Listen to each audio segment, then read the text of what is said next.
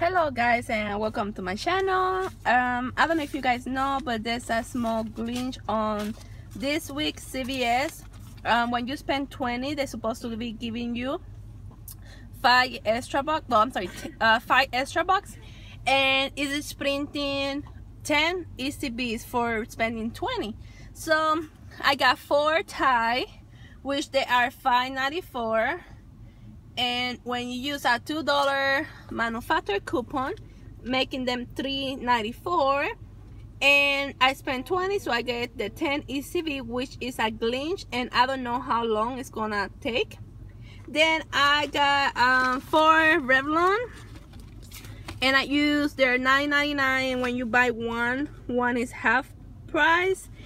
And um, I use a $5 manufacturer coupon which is good only for today. And I got three greeting cards. Um, they're 99 cents and when you buy three you get $3 ECB so I use the $2 off Tide. I use four five dollars for the Revlon mascara.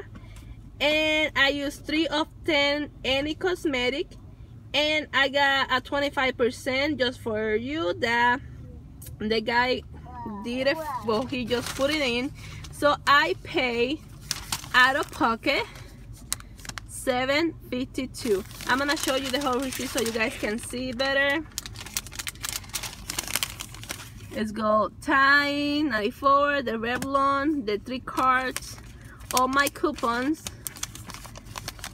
And then I got back three dollars and 10 ECB so I got 13 dollars. So um, I don't know how long this glitch is gonna be. Maybe it, they will not fix it but I cannot tell you guys. But if you want to get this still you guys need to do it right now.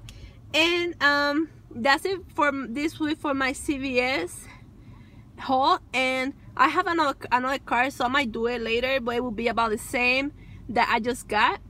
And I hope to hear you guys. And remember to subscribe, like, and share. If you guys have any question, remember to just leave in my comments. Bye-bye.